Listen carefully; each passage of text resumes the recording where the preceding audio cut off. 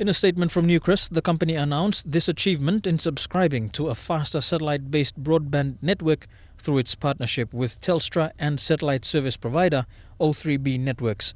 According to Newcrest Chief Information Officer Gavin Wood, as well as enabling better IT and digital solutions for its operations, the new link will help make Lihir a better place to work and live for its workforce. The upgrade to the current 100 megabytes per second will be welcomed particularly given the remoteness of Lihir Island from the provincial capital, Kavieng. These changes are a part of Newcrest's ambition to make operations more cost effective in the long run, with Lihir Executive General Manager Craig Jetson adamant that the community on Lihir will also benefit from this improvement.